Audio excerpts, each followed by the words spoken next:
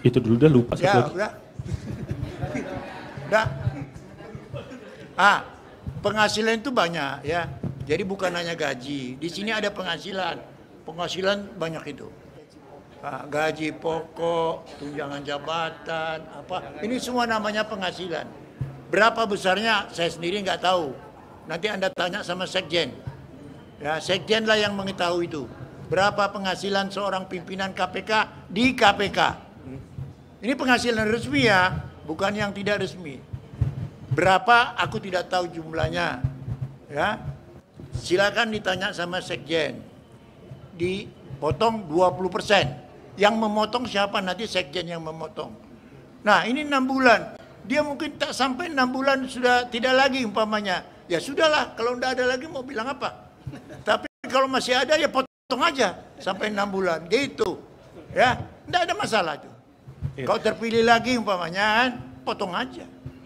Satu lagi Opung, eh, untuk putusan ini, apakah KPK, eh, Dewas KPK akan memberikan salinannya ke Presiden dan Capim KPK? Karena kan eh, kalau kayak Pak Firly waktu itu kan dikasih tuh ke Presiden. Nah ini eh, salinan putusannya mau dikasih ke Pak Gufron doang, ke KP, eh, ke Presiden juga, ke, Pak- ke Capim juga. Terbilang kan Pak Gufron akan berurusan dengan Presiden dan Capim untuk eh, proses pemilihan eh, eh, pansel-pansel itu untuk proses eh, dia nyalon lagi gitu. Kalau ke pansel kami tidak kirimkan itu, ya, dan kepada pimpinan juga kami tidak kirimkan, tapi kepada yang yang bersangkutan kita berikan. Apakah sampai kepada presiden dulu Pak Ru, Pak Pilih dia kan sanksi berat. Sanksi berat harus mengundurkan diri. Ya.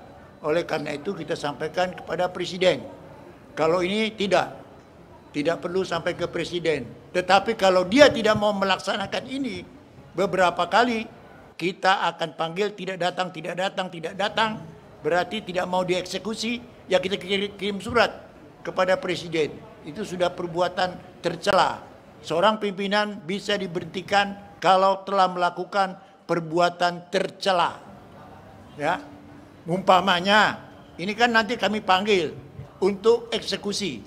Nggak mau datang. Ngeyel terus tadi itu. Tadi bilang, kau bilang. Ngeyel. Panggil lagi dua kali. Nggak mau datang. Ngeyel. Apa putusan aku tidak mau. Tidak mau dipotong gajinya. Tiga kali nggak mau. Kita kirim surat kepada presiden.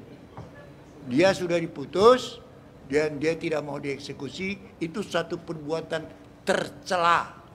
Kita anggap itu perbuatan tercela. Seorang pimpinan KPK kalau melakukan perbuatan tercela baca undang-undang layak untuk diberhentikan.